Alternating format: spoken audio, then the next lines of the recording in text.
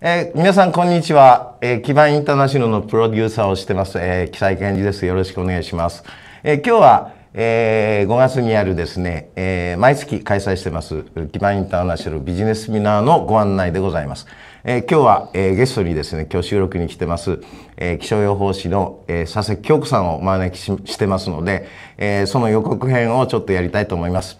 佐々木さんよろしくお願いします。よろしくお願いします。美しいでしょこの写真。はい。すごいですね。ええ。こちらどこですか、これ。これ。北アルプスの常年岳私も若い頃あそこ登ったんですけどね。あそこ登ると 後ろが穂高槍がすごい綺麗なんですよ。あー。うん。あの2900メートルぐらいなんですけどね、ええ。その前にこうあの安曇野にこう桜が咲いて、ねすごいこれはちょっとだから去年のだから、はい。えーこれからでしょうね。そうですね。えー松本だといつ頃かな、うん、いつ頃なんだろう。4月？4月の中旬ぐらいからきっとね。ね。すごい美しい桜が見られると思います、えーそれではちょっと、えーご案内いたします、えー5月の20日水曜日ですね、えー3時から、えー、だいたい1時間半の予定で、えー毎月やっております、えー私どもの会議室で、えーやりますので、えー今回のお題は、えーちょっと邪魔ですかね。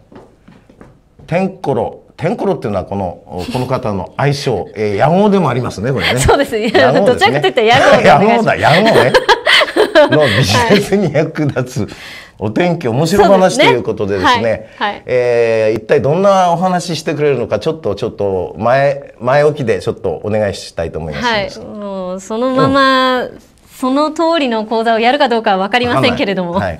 あの世の中にはですね、ビジネス普段の生活だけじゃなくて何だったらビジネスに役立つ気象情報っていうのがですねゴロゴロタダで転がってるんですよ。ほうほうほう。もうぜひ生かしてほしい情報がたくさんあって、例えばねお店やってる方だったら仕入れの分量とか気温で、天気で変わったりしますよね、でも多分ねテレビの天気予報だけじゃ足りないんですよ。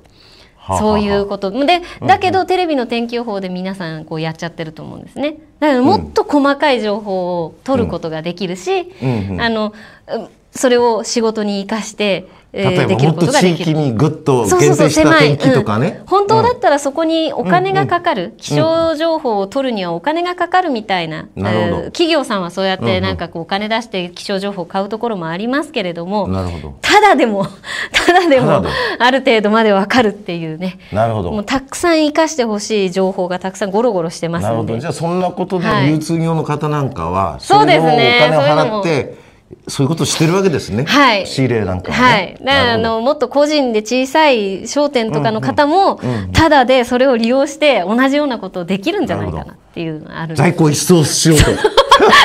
そんなことですね。はそういうのとかまあ本当にまあそういうことをやっていただけるんですね。はい。はい。そうですか。じゃあ、えーこちらですね、えーお申し込みはですね、キバイントナショナルのサイトから入れますので、はい案内ページですね。えーこちら、えー基盤を引けばすぐ出てきますので、えーどうぞ Facebook にも出ております。えーそういうことで、じゃあ、はいえーお待ちしてますので、申し込み楽しみにしてます。よろしくお願いいたします。